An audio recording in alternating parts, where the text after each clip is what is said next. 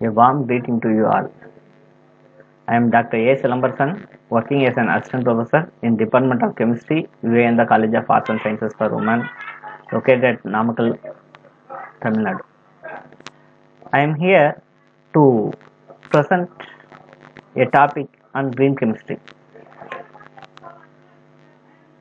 Before going into the details of green chemistry, first we will see about economic growth and pollution.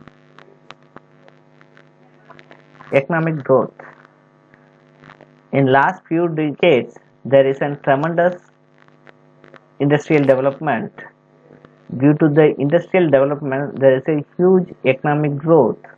This economic growth has increased the standard of living and it has raised the employment it increased capital investment. It benefited the government to greater extent. And it gives superior public services. Okay. We can't able to limit uh, only with the positive effects of environmental growth economic growth. There are some negative effects of economic growth the negative effects mainly deals about consumption of natural resources and pollution. See here as i told you the economic growth mainly depends mainly depends on industrial development.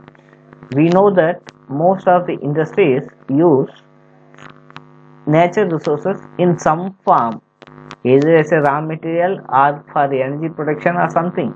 It uses nature resources in some form for its sustaining. So due to the large consumption of natural resources it leads to the adverse effect. That is natural resources are limited so adverse usage of natural resources has a negative negative effect on environment. More and more usage of resources became a cause of environmental degradation. See due to the vast usage of natural resources and due to the vast usage of chemicals and due to the vast development of industries there are some awful incidents in the past. I will show you some of them. The first one is Cuyahoga river which is present in US gets polluted to a greater extent. It is polluted to the extent to that it catches fire when it is ignited. Can you believe it?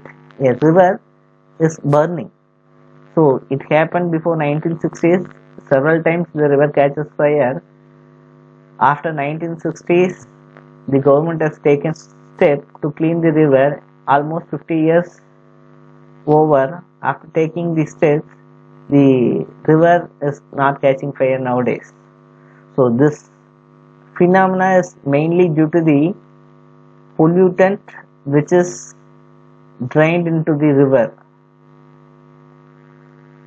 Okay the next uh, very big disaster is london killer fog you know that large amount of smoke is being emitted from the industries. That smoke combines with the fog during winter season so it creates a lethal smog which claimed the lives of several thousand people. It happened in 1952 december 5 to 9 and one more worst natural uh, sorry man-made disaster is chernobyl nuclear explosion which taken place in ukraine in april 26 1986 a reactor was shut down at chernobyl nuclear facility at that time a runaway nuclear reaction resulted in a horrific fire and explosion. At that instance itself it has claimed 50 personal personnel and then not only that it has caused more than 4000 cancer deaths. See this is a very big disaster which taken place in india. That is the disaster disaster taken place at Union Carbide Factory which was located at Bhopal in Madhya Pradesh. In December 3, 1984, a Union Carbide India Limited pesticide plant in Bhopal accidentally released methyl isocyanate which killed more than 5000 people.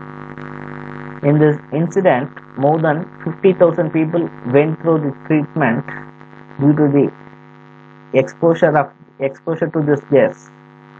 And it is being reported that more than 5 lakhs people were exposed to that particular gas during that time. And it was claimed that uh, in addition to the uh, sudden death it also claimed nearly 20,000 lives since that accident happened. So like this several disasters happened in the last few decades some of them are Exxon Valdez oil spill, the Seveso disaster, the Minamata disease disaster, British petroleum spill, Gulf of which happened at Gulf of Mexico, Amoco Cadiz, and many more. And you people might remember that last uh, few days before, an accident, a disaster taken place at Vizag. Okay.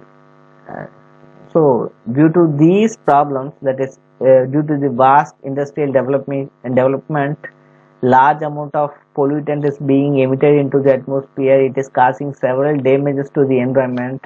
So these things made the scientists to to think about the environment and to think about new ideas which will safeguard the environment so such an idea is in green chemistry such an idea is the green chemistry. So green chemistry consists of chemicals and chemical process designed to reduce or eliminate negative environmental impacts. The use and production of these chemicals may involve reduced waste products, non-toxic components and improved efficiency.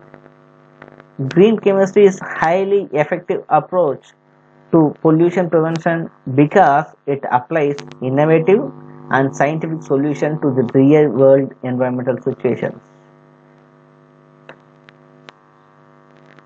See, this is the definition of green chemistry. Green chemistry is nothing but the utilization of a set of principles that reduces or eliminates the use or generation of hazardous substances in the design, manufacture and application of chemical products. The term green chemistry was coined by Paul Anastas, who is called father of green chemistry.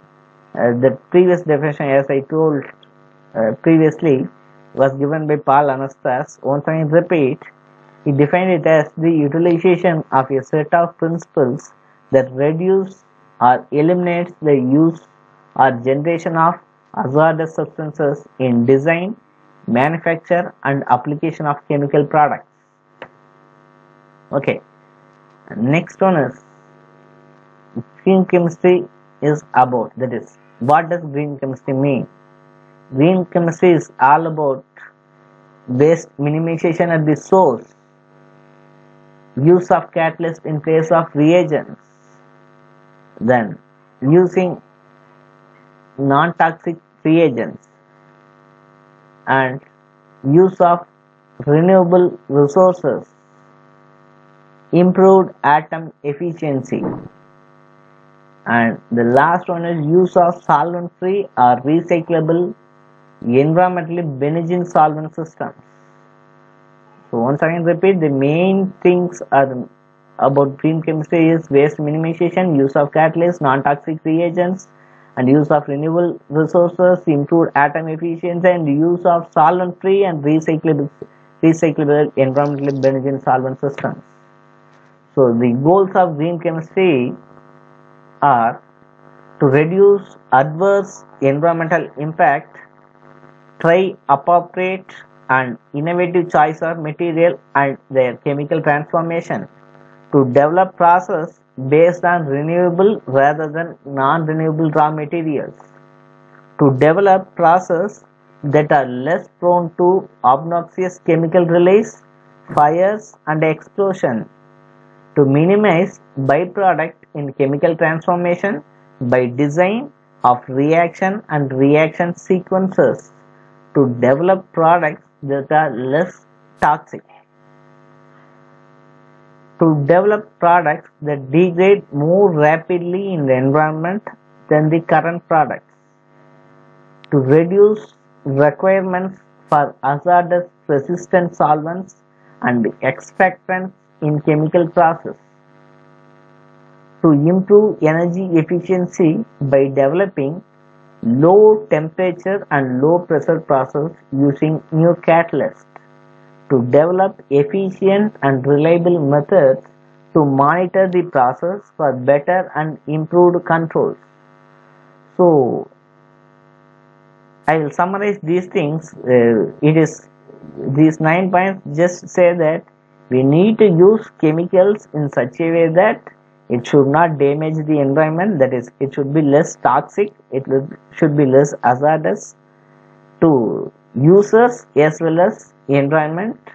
And suppose if you are using some chemicals uh, that should be a biodegradable chemicals. And the method to produce the chemical should be an easy one that is it should not damage the environment these are the main things included in these points that is goals of green chemistry. Okay. Uh, next we will move on to principles of green chemistry. Actually there are 12 principles of green chemistry these are slide uh, yes uh, previously we have seen the goals of green chemistry. Those goals of green chemistry will be achieved by following these principles. First one is prevention of waste or byproduct formation. That is you need to design a reaction or you need to design a process such a way that it will produce very very less waste or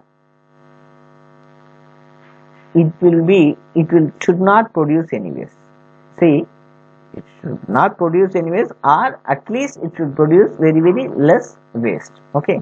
Okay. And it is better to prevent waste than to treat or clean up waste after it is formed. Okay. The next one is atom economy atom economy describes the conversion efficiency of a chemical process in terms of all atoms involved in the desired product formation. That is nothing but tells you about how much percentage of the atoms present in the reactant was involved in the product formation. See once again repeat it tells you about how much percentage of atoms of all the reactants is involved in the desired product formation. I am saying that involved in desired product formation. It doesn't mean it will not include all the byproducts. The see the atom efficiency is given by molecular weight of desired product divided by molecular weight of all the reactants into 100 okay. So I have given you two examples whereas in first case allyl phenyl ether is getting converted into orthoallyl phenol. Whereas in second case ethyl propionate and methylamine combines to form n-methyl propionate and ethyl alcohol see in these cases in the first case you can see whatever the atoms present in the reactant has been used completely by the product. See only H has been transferred from one place to another place and remaining it looks the same. Whereas in second case we the desired product is n-methyl propionate but we have got ethyl alcohol as an byproduct. So in first case yes it is used all the atoms. The atom economy is 100% in the second case the atom economy that is molecular weight of product in methyl propionate 87.106 divided by molecular weight of all the reactants. That is 102.13 plus 31.03 so 87 divided by 133 gives you 84 percentage. The next one is minimization of hazardous product. Okay. What is main thing with this hazardous product? You know that hazardous product can be a raw product that is raw material or it may be a byproduct of a particular reaction or the product what we are using it may be an hazardous product. So the green chemical approach prevents the use of hazardous product in any means let it be raw material or let it be an byproduct or let it be a useful product. So green chemical approach prevents the usage of hazardous product wherever practicable synthetic methods should be designed to use and generate substances that possess little or no toxicity to the people and the environment. Okay the next important thing is designing safer chemicals. So chemical products should be designed to effect their desired function while minimizing their toxicity.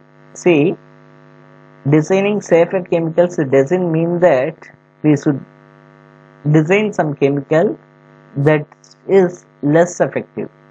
Okay. So we need to design some chemical that is more effective. At the same time it should have less toxicity to environment as well as people and next main thing is usage of safer solvents and auxiliaries. Auxiliary substances is nothing but using uh, that is separating agents drying agents. Those things are said to be auxiliary substances.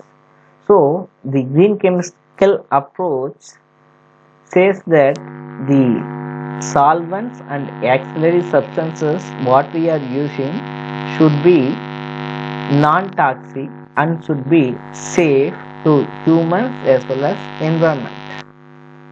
See i discussed in the last three slides i will discuss you about uh, minimization of hazardous products designing safer chemicals and usage of safer solvent and the auxiliaries. So this uh, reaction uh, yes adopted all the three principles. See uh, this reaction is a normal reaction conventional reaction which converts bisphenol a into a polycarbonate. Uh, in this reaction phosgene COCl2 is used as an reagent which is an hazardous product. So this reaction has been modified into this one.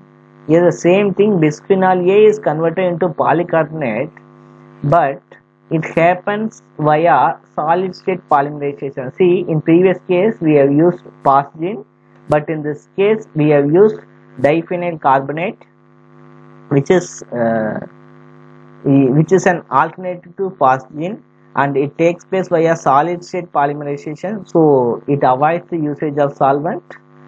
And see it has satisfied three things. First one is first one is minimization of hazardous products. It doesn't use phosgene and second one is designing safer chemicals. We have used diphenyl carbonate which is a safe one. And it this reaction occurs via solid state polymerization. This reaction occurs via solid state polymerization. So it has used some safer solvents or it has removed the usage of solvent. Okay. See i have given you some, one more example for using safer solvent previous days dry cleaning has been taken or has been adopted by the usage of gasoline and kerosene. In later stages the gasoline and kerosene has been removed and it has been uh, and it has adopted the usage of chlorinated solvent. Though the chlorinated solvents are little bit toxic the main thing with chlorinated solvents is very very little amount solvent is enough for dry cleaning. In future and we are going to use supercritical fluids like supercritical CO2 for dry cleaning. It is already in research. In future you can you will be able to adopt dry cleaning techniques using liquid co2 Uh, see one more example for uh, adopting green chemical approach. I have given replacing tetraethyllead which is a poisonous chemical by an alternative methyl tertiary butyl ether and ethyl tertiary butyl ether. See this is a green initiative where we have replaced the poisonous tetraethyl lead with mtbe and etbe okay. The next principle is design for energy efficiency. It is much important in green chemical approach because if you consume more energy then it means it is degrading the environment to greater extent. The energy requirements of a chemical process should be recognized for their environmental and economic impacts and should be minimized. If possible synthetic methods should be conducted at ambient temperature and pressure. Next one is uh, developing alternatives for energy generation. That is you can use large amount of renewable energy resources like photovoltaics or you can go for uh, fuel cells which is in green energy or bio based fuels and seventh principle is use of renewable feedstock. That is a raw material or a feedstock should be renewable rather than depleting whenever technically and economically practicable. I have given you an example. See in this case the production of adipic acid is based on the fermentation of glucose by e. coli. The e. coli ferment, uh, ferment the glucose to dehydroshikimate and further into cis muconic acid. This cis muconic acid under pressure uh, in presence of platinum it gets converted to adipic acid. I have given one more example where polylactic acid has been formed or has been uh, formed from cornstarch see here the cornstarch is transferred into unrefined dextrose which then gets fermented to lactic acid and this lactic acid forms lactide and then this lactide polymerizes to form polylactic acid.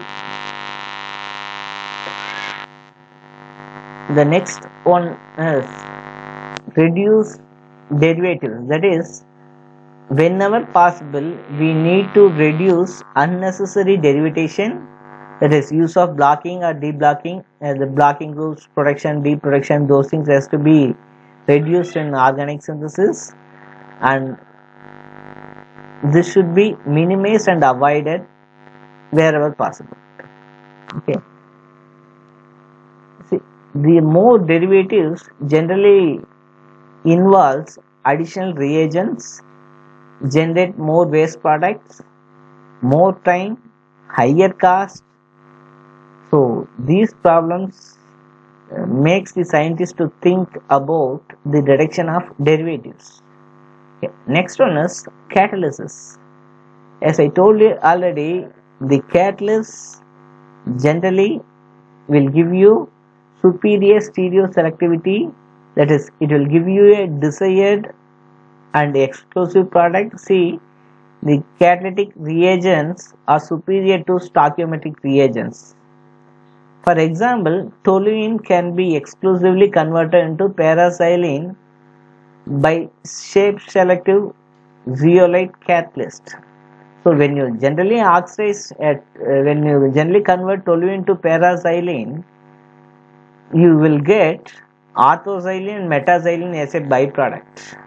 Whereas you are using zeolite as a catalyst it will avoid the formation of orthoxylene and metaxylene okay. Next one is designing of degradable products.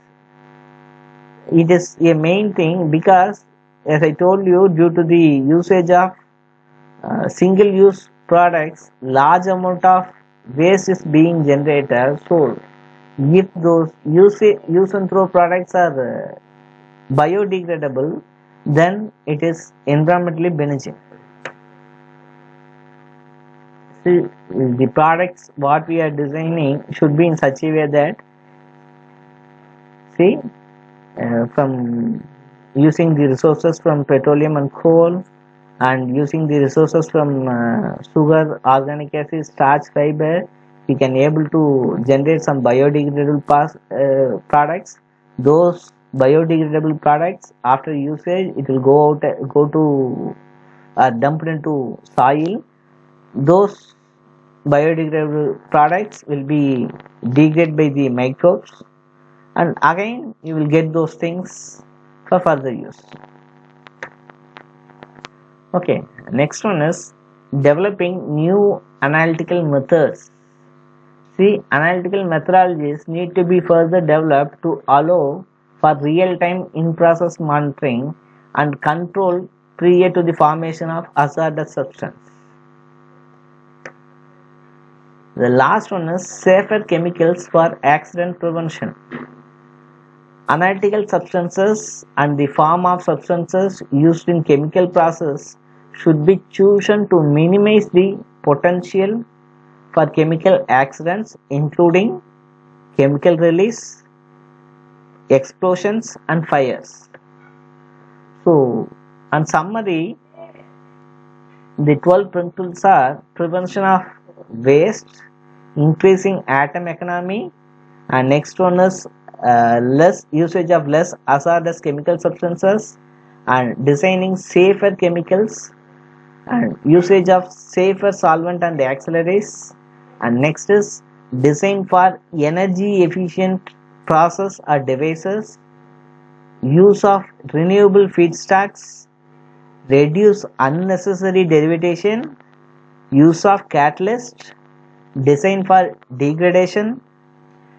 And real-time analysis for pollution prevention. And the last is inherently safer chemistry for accident prevention as a whole i will conclude as green chemistry is not a solution to all environmental problems but i can assure you that this is the most fundamental approach to pollution prevention. Okay. So being a chemist it is a must to design some product which is eco-friendly so you can design uh, you can redesign the product which is existing to an eco-friendly manner. Okay. So in next class we will see about various green chemical synthesis. Uh, this class limits only to the principles of green chemistry and its introduction. Okay. Thank you. For any queries you can contact dr silamberson at vikas.org it is given in the brochure itself you can use of it. Thank you. If you have any queries feel free to contact me. Thank you. Thank you